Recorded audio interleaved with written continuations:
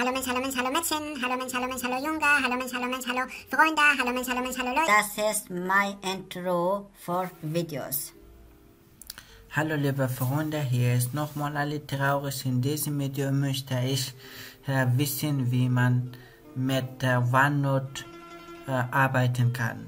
OneNote ist eine Software und ein Package von Microsoft Office. Microsoft Office hat viel Package dabei, zum Beispiel Word, Excel, PowerPoint und OneNote und Access, sowas so viel, ne? Und, und das OneNote ist auch ein Package von Microsoft Office. Ich habe keine äh, komplette Office in meinem PC, äh, weil so teuer ist die Microsoft Office. Ich kann nicht kaufen. Ich habe einfach nur einzelne Package von Office äh, heruntergeladen und das heißt OneNote. In diesem Video möchte ich genau wissen, wie man mit OneNote Software bearbeiten kann und die Anwendung von OneNote äh, Microsoft. Los geht. Habe ich hier äh, geöffnet. Einfach klicke ich hier und das ist OneNote. Wenn Sie oben gucken, oben sehen Sie nicht, aber hier ist äh, OneNote und das heißt OneNote.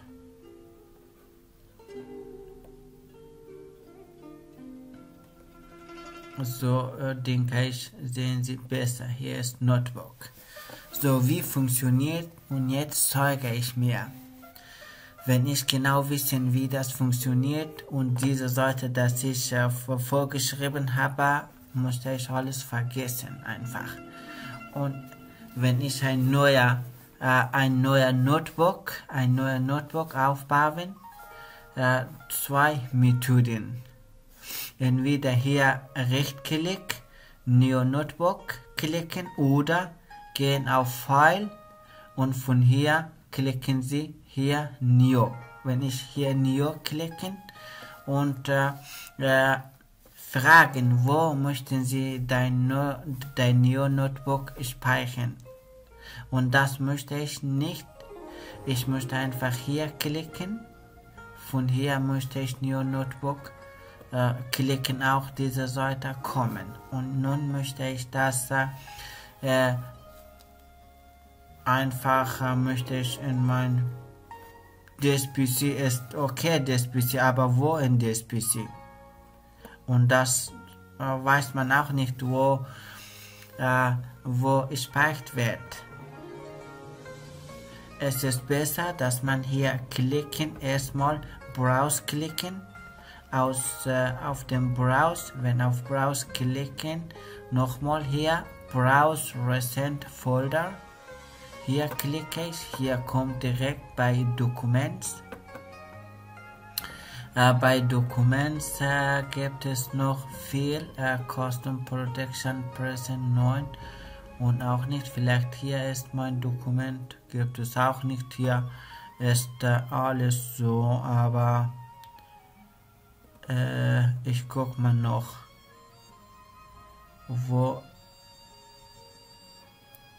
Ne, hier gibt es auch nicht. Ich, ich möchte ein neuer. Hier meine Freundin. Ne, bei meinen Freunden nicht. Das ist weg. Erstmal möchte ich einfach in mein Desktop. Genau hier. Hier die Name schreibe ich, ja? Okay one OneNote B OneNote benutzen. Einfach die Extension ist hier .oni. .oni ist der Extension uh, from uh, OneNote, Microsoft OneNote. Einfach correct. Wo es die Folder gespeichert wird? Genau in meinem Desktop. Das PC in Desktop. Ja. Hier habe ich ein neues Buch, äh, äh, ein Buch äh, aufgebaut. Hier ist OneNote benutzen. Das ist. Ja, wenn man ein Section machen hier und habe ich ein neuer Notebook äh, gemacht oder corrected oder aufgebaut. Nun möchte ich ein Section. Section entweder double-klickt auf dem mh, zum Beispiel New Section und Rename Section oder äh, Double-Click und kommt sofort äh, hier New Section muss einfach schreiben, was du willst. In diesem Fall möchte ich schreiben äh, OneNote, äh, ja okay, OneNote, OneNote Info oder OneNote vorstellen. Einfach Enter-Klick. Wenn ich Enter klicke und schon hier mein New Section OneNote Info schon gemacht. Was ist hier?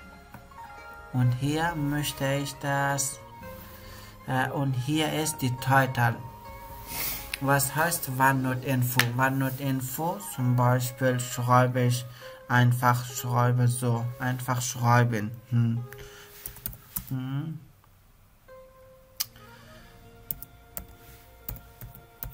Einfach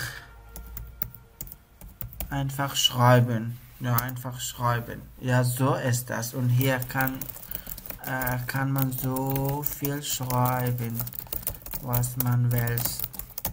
Einfach so schreiben, was man, was man will. Ja, und okay, hier ist das so, ja, so random. Äh, ach, hier ist random. Und klicke ich hier. Vielleicht kann ich hier ein neuer Okay, möchte ich einfach fünf.